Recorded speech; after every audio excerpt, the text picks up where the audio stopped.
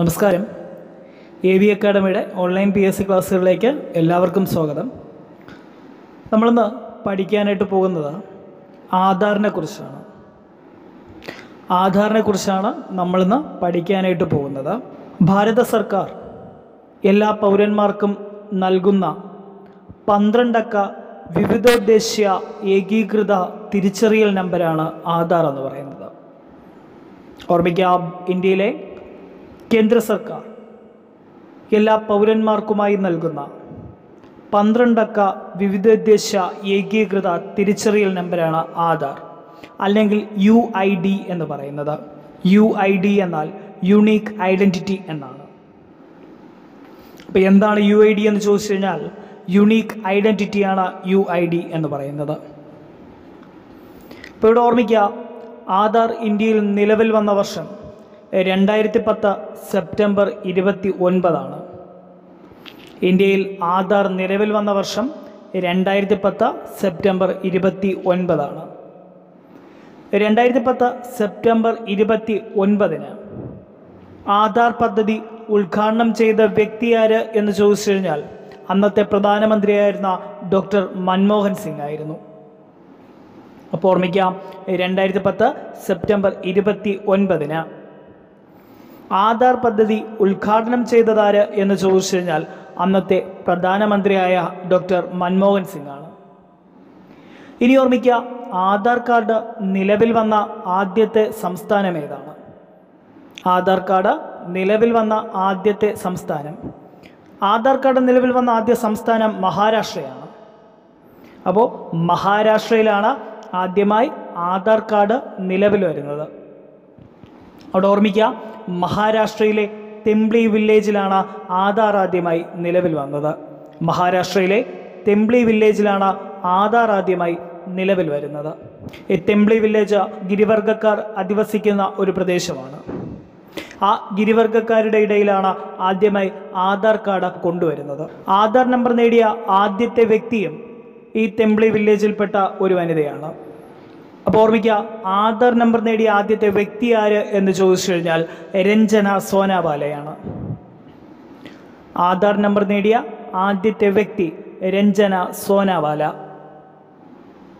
ഒന്നുകൂടെ പറയണ പേര് മറക്കരുത്. രഞ്ജന സോനാവാലയാണ് ആധാർ നേടിയ ആദ്യത്തെ വ്യക്തി. ഇനി ഓർമ്മിക്കുക ആദ്യത്തെ വനിത ആര് എന്ന് ചോദിച്ചു കഴിഞ്ഞാലും അത് രഞ്ജന സോനാവാല തന്നെയാണ്. അപ്പോൾ ആധാർ നേടിയ ആദ്യത്തെ വ്യക്തി ആരെന്ന് ചോദിച്ചു കഴിഞ്ഞാൽ രഞ്ജന സോനാവാല. മറക്കരുത്. നിലവിൽ വന്ന ആദ്യത്തെ സംസ്ഥാനം ചോദിച്ചു കഴിഞ്ഞാൽ മഹാരാഷ്ട്ര. ഇനി നിലവിൽ വന്ന ആദ്യത്തെ വില്ലേജ് ചോദിച്ചു കഴിഞ്ഞാൽ തെംബ്ലി വില്ലേജ്.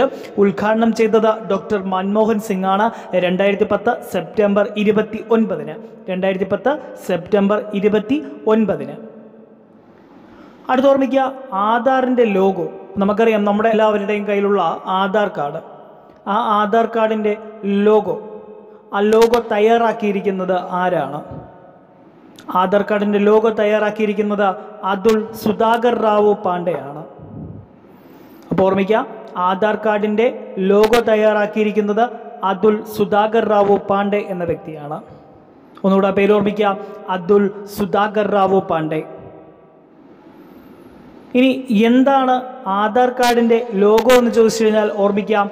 ഇനി നോക്കാം എന്താണ് ആധാറിന്റെ ലോഗോ എന്ന് ചോദിച്ചു കഴിഞ്ഞാൽ മഞ്ഞ സൂര്യനും നടുവിൽ വിരലടയാളവുമുള്ള ലഘുചിത്രമാണ് ആധാറിന്റെ ചിഹ്നം. നോക്കാം എന്താണ് ആധാറിന്റെ ലോഗോ എന്ന് നോക്കിക്കഴിഞ്ഞാൽ മഞ്ഞ സൂര്യനും നടുവിൽ വിരലടയാളവുമുള്ള ലഘുചിത്രമാണ് ആധാറിന്റെ ലോഗോ എന്ന് പറയുന്നത്. ഓർമ്മിക്കുക മഞ്ഞ സൂര്യനും അതിന് നടുവിലായി വിരലടയാളവുമുള്ള ലഘുചിത്രമാണ് ആധാറിന്റെ ചിഹ്നം എന്ന് പറയുന്നത്. ഇത് തയ്യാറാക്കിയിരിക്കുന്നത് അതുൽ സുധാകർ റാവു പാണ്ഡെ എന്ന വ്യക്തിയാണ്. അപ്പോൾ ഇത്രയും പറഞ്ഞ കാര്യങ്ങൾ നമുക്ക് ഒന്നുകൂടെ ഓർമ്മിക്കാം. ആധാർ കാർഡ് നിലവിൽ വന്നത് രണ്ടായിരത്തി പത്ത് സെപ്റ്റംബർ ഇരുപത്തി ഒൻപത് രണ്ടായിരത്തി പത്ത് സെപ്റ്റംബർ ഇരുപത്തി ഒൻപതിന് പ്രധാനമന്ത്രി മൻമോഹൻ സിംഗ് ആയിരുന്നു ഈ പദ്ധതി ഉദ്ഘാടനം ചെയ്യുന്നത്. നിലവിൽ വന്ന ആദ്യത്തെ സംസ്ഥാനം ചോദിച്ചു കഴിഞ്ഞാൽ അത് മഹാരാഷ്ട്രയാണ്. ഇനി ഏത് ജില്ലയിലാണ് എന്ന് ചോദിച്ചു കഴിഞ്ഞാൽ മഹാരാഷ്ട്രയിലെ തെംബ്ലി വില്ലേജ് ആണ്. മഹാരാഷ്ട്രയിലെ തെംബ്ലി വില്ലേജിലാണ് ആധാർ ആദ്യമായി നിലവിൽ വരുന്നത്. ഇനി ആധാർ നമ്പർ നേടിയ ആദ്യത്തെ വ്യക്തി ആര് എന്ന് ചോദിച്ചു കഴിഞ്ഞാൽ രഞ്ജന സോനാവാലയാണ്. ഓർമ്മിക്കുക ആധാർ നമ്പർ നേടിയ ആദ്യത്തെ വ്യക്തിയാണ് രഞ്ജന സോനാവാല. ഇനി ആധാർ ലോഗോ തയ്യാറാക്കിയതാര് എന്ന് ചോദിച്ചു കഴിഞ്ഞാൽ അത് അതുൽ സുധാകർ റാവു പാണ്ഡെയാണ്. അതുൽ സുധാകർ റാവു പാണ്ഡെ മഞ്ഞസൂര്യനും നടുവിൽ വിരലടയാളവുമുള്ള ലഘുചിത്രമാണ് ആധാറിന്റെ ചിഹ്നം എന്ന് പറയുന്നത്. ശ്രദ്ധിക്കുക ഇത്രയും ചോദ്യങ്ങൾ മറക്കാതിരിക്കുക. ഇനി വരുന്ന ചോദ്യങ്ങൾ നമുക്ക് നോക്കാം. ആധാർ ഇംപ്ലിമെന്റിംഗ് ഏജൻസി ഏതാണെന്ന് നോക്കാം? ആധാർ ഇംപ്ലിമെന്റിംഗ് ഏജൻസിയാണ് U I D A I U I D A I U I D A ഐയുടെ ഫുൾ ഫോം എന്താണെന്ന് നോക്കാം? Unique identification authority of India Aadhaar implementing agency ഏതാണ്? U I D A I അപ്പോൾ ഓർമ്മിക്കുക.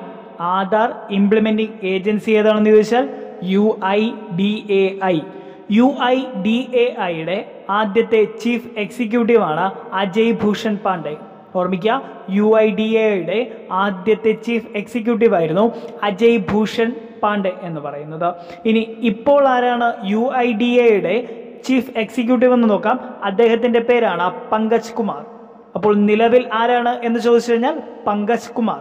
എന്നാൽ ആദ്യം അതായത് ആധാർ നിലവിൽ വരുന്ന സമയത്ത് ചീഫ് എക്സിക്യൂട്ടീവ് ഓഫീസർ ആരെന്ന് ചോദിച്ചു കഴിഞ്ഞാൽ അജയ് ഭൂഷൺ പാണ്ഡെയാണ്. മറക്കരുത് ഇത്രയും ചോദ്യങ്ങൾ. വളരെ വളരെ പ്രധാനമാണ്. ആധാർ ഇംപ്ലിമെന്റിംഗ് ഏജൻസി ഏതാണെന്ന് ചോദിച്ചാൽ അത് U I D A I ആണ്. യു ഐ ഡി എ ഐയുടെ ഫുൾ ഫോമാണ് unique identification authority of India എന്ന് പറയുന്നത്. U I D A I ഇനി ഇതിന്റെ ആദ്യത്തെ ചീഫ് എക്സിക്യൂട്ടീവ് ആയിരുന്നു അജയ് ഭൂഷൺ പാണ്ഡെ. നിലവിൽ ആരാണെന്ന് ചോദിച്ചു കഴിഞ്ഞാൽ പങ്കജ് കുമാറാണ്. പങ്കജ് കുമാർ. ഇനി നോക്കാം ആധാർ എന്നാണ് കേരളത്തിലേക്ക് എത്തുന്നതെന്ന് നോക്കാം. നമുക്ക് രണ്ടായിരത്തി പതിനൊന്ന് ഫെബ്രുവരി ഇരുപത്തി നാലിനാണ് കേരളത്തിൽ ആധാർ പദ്ധതി ഉദ്ഘാടനം ചെയ്യപ്പെടുന്നത്. അപ്പോൾ ഓർമ്മിക്കാം കേരളത്തിൽ ആധാർ പദ്ധതി ഉദ്ഘാടനം ചെയ്തത് എന്നാണ് എന്ന് ചോദിച്ചു കഴിഞ്ഞാൽ രണ്ടായിരത്തി പതിനൊന്ന് ഫെബ്രുവരി ഇരുപത്തി നാല് ഈ രണ്ടായിരത്തി പതിനൊന്ന് ഫെബ്രുവരി ഇരുപത്തിനാലിന് ആരാണ് ഈ പദ്ധതി ഉദ്ഘാടനം ചെയ്തത് എന്ന് ചോദിച്ചു കഴിഞ്ഞാൽ കേരള മുഖ്യമന്ത്രിയായിരുന്ന വി എസ് അച്യുതാനന്ദനാണ് ഇത് നിർവഹിക്കുന്നത്. അപ്പോൾ ഓർമ്മിക്കാം കേരളത്തിൽ രണ്ടായിരത്തി പതിനൊന്ന് ഫെബ്രുവരി ഇരുപത്തിനാലിനാണ് ആധാർ പദ്ധതി ഉദ്ഘാടനം ചെയ്യപ്പെടുന്നത്. ഉദ്ഘാടനം ചെയ്യുന്ന വ്യക്തി ആര് എന്ന് ചോദിച്ചു കഴിഞ്ഞാൽ ആ സമയത്തെ മുഖ്യമന്ത്രിയായിരുന്ന വി എസ് അച്യുതാനന്ദനാണ്. ഇനി നോക്കാം കേരളത്തിൽ സമ്പൂർണ ആധാർ രജിസ്ട്രേഷൻ പൂർത്തിയാക്കിയ ആദ്യത്തെ പഞ്ചായത്ത് ഏത് എന്ന് ചോദിച്ചു കഴിഞ്ഞാൽ അത് അമ്പലവയലാണ്. അപ്പോൾ ഓർമ്മിക്കാം കേരളത്തിൽ സമ്പൂർണ ആധാർ രജിസ്ട്രേഷൻ പൂർത്തിയാക്കിയ ആദ്യത്തെ പഞ്ചായത്ത് എന്ന് പറയുന്നത് അമ്പലവയലാണ്. ഒന്നുകൂടെ ഓർമ്മിക്കാം കേരളത്തിൽ സമ്പൂർണ ആധാർ രജിസ്ട്രേഷൻ പൂർത്തിയാക്കിയ ആദ്യത്തെ പഞ്ചായത്താണ് അമ്പലവയൽ. അമ്പലവയൽ എവിടെയാണെന്ന് ചോദിച്ചു കഴിഞ്ഞാൽ വയനാടാണ്. ഓർമ്മിക്കുക അമ്പലവയൽ വയനാട്. ഇനി നോക്കാം നൂറ് കോടി പേർ ആധാർ രജിസ്ട്രേഷൻ പൂർത്തിയാക്കിയ വർഷം രണ്ടായിരത്തി പതിനാറ് ഏപ്രിലാണ്. ഓർമ്മിക്കാം നൂറ് കോടി പേർ ആധാർ രജിസ്ട്രേഷൻ പൂർത്തിയാക്കിയ വർഷം രണ്ടായിരത്തി പതിനാറ് ഏപ്രിലാണ്. ഇനി നോക്കാം ആധാറിലെ ആകെ നമ്പറുകളുടെ എണ്ണം പന്ത്രണ്ടാണ്. ആധാറിലെ ആകെ നമ്പറുകളുടെ എണ്ണം പന്ത്രണ്ടാണ്. ഒന്നുകൂടെ ഓർമ്മിക്കുക ആധാറിലെ ആകെ നമ്പറുകൾ പന്ത്രണ്ട്. നൂറ് കോടി പേർ ആധാർ രജിസ്ട്രേഷൻ പൂർത്തിയാക്കിയത് രണ്ടായിരത്തി പതിനാറ് ഏപ്രിലാണ്. ഇനി ആധാറിലെ ആകെ നമ്പറുകൾ പന്ത്രണ്ടാണ്. കേരളത്തിൽ സമ്പൂർണ ആധാർ രജിസ്ട്രേഷൻ പൂർത്തിയാക്കിയ ആദ്യത്തെ പഞ്ചായത്ത് അമ്പലവയലാണ്. അമ്പലവയൽ വയനാടാണ്.